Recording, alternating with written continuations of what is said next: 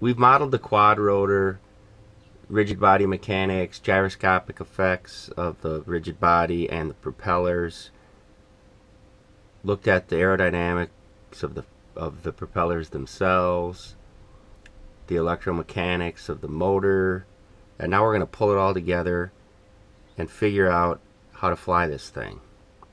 So, following the lead of our primary reference paper, which I continue to refer to, and you'll see it in the blog. It's our uh, referred to as the Bouabdallah paper because he looks to be the primary author, Samir Bouabdallah. I may be mispronouncing his name. We derived uh, similar equations or the same equations, and now we're to how we're going to control it. Now, ultimately, um, I'm interested in a number of control system problems associated with this platform, modeling the nonlinearities and getting into what will be or require state state space design techniques. But they're not very intuitive for understanding the uh, effects of various parameters on the system without running a bunch of simulations and uh, maybe getting lost in the math. So the first thing we want to do, and in fact, it may be the only thing that we end up doing, is a classical control system design, and that is just to derive um, a transfer function for each axis, roll, pitch, and yaw and if we're operating nominally from a hover position then we've decoupled all of these gyroscopic effects um, and other nonlinearities um, primarily an extra term in our motor equation which I'll show you. And we can get down to a transfer function like this here. Um, roll pitch yaw this is the Laplace transform.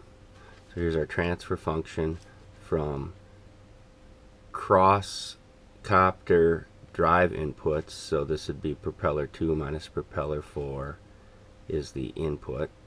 And then the output is, in this case, roll.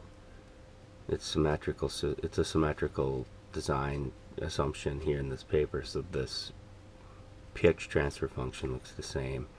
And then yaw is similar. Um, our driving input, as we went over last time, is is different for a yaw because it's the the difference in the squares of the propellers. And then remember we have that drag term instead of the thrust term. So we're going to pull all those get pulled together in these transfer functions. But what I want to look at what I want to look at today is just one cross-axis transfer function and we're going to derive these same equations. So we're going to look at a linearized simplified input-output model so we can understand the major contributors to the dynamic behavior when we design the control system. So in order to do that, we assume a level configuration in hover we're neglecting the body gyroscopic effects and we're neglecting the propeller gyroscopic effects.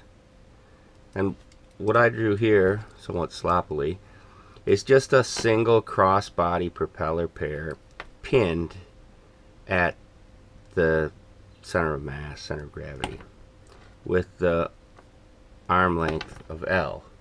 So it's sort of like a teeter-totter, and we have one propeller and motor combination on one side, and one on the other and that single axis is going to drive the output angle theta as a function of the input drives to the two propellers. So if we simplify it, we have the differential equation um,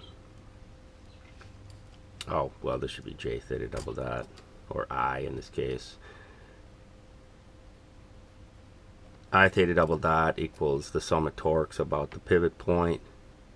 Um, turns out then, well, theta, theta double dot equals L over J input. Now the forcing function or the drive input as we know from our last post is the thrust factor times the difference of one propeller's speed squared minus the other across the body. And recall last time we went to great pains to make sure we understood that term B.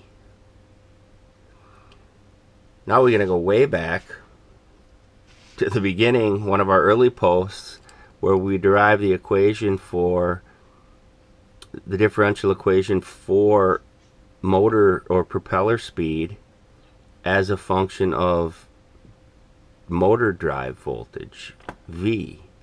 Because ultimately, our platform controller, when we ask for a speed out of the propellers, we're going to be commanding the motor speed the motor speed controller, but really the input is voltage. I mean, voltage, we could say it's a current. I mean, the motor torque is a function of current, but it's really a this gets into what whatever the electronics are that are driving our our motors that's our command input so first off we've got this constant term in this differential equation and that's a bit troubling uh, for a simplified model. So in the Bouabdallah paper, Bouabdallah paper, he tells us, yeah, we're just going to neglect it because it's uh, significantly smaller than B, but rather than take his word for it, we're gonna we're gonna see if that's the case. So now we've simplified to d omega dt is uh, that motor propeller speed equation minus the C term, so we got rid of it. Take the Laplace transform of that. We're just stepping through, simplifying.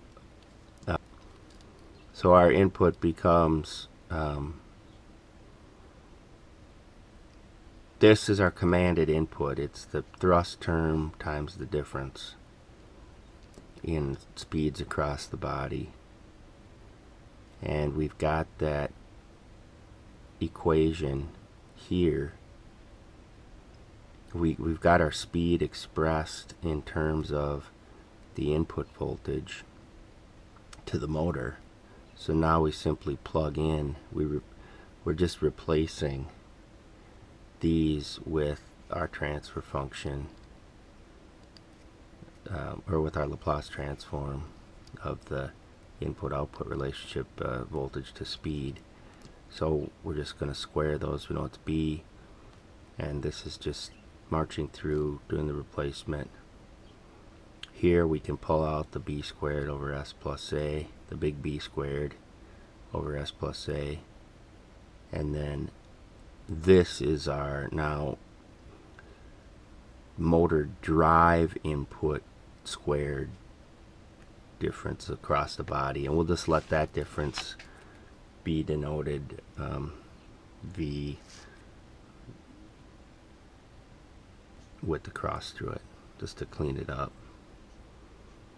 So now when we go back and we look at our model so theta double dot and that's our drive that's our input that's our big U is L over the body moment of inertia on uh, for that axis times u. So we just take the Laplace transform. And we end up with this form here because this is the second derivative. So we've got s squared um, phi of S. And again here we're just bringing this down here. And our transfer function becomes moving the S squared down. We've got a denominator term that will just denote as a gain K over a double pole at zero and a double pole at our big A. So that's our transfer function from drive voltage difference across the body to angular output for one arm of the quad, uh, one cross arm of the quad rotor.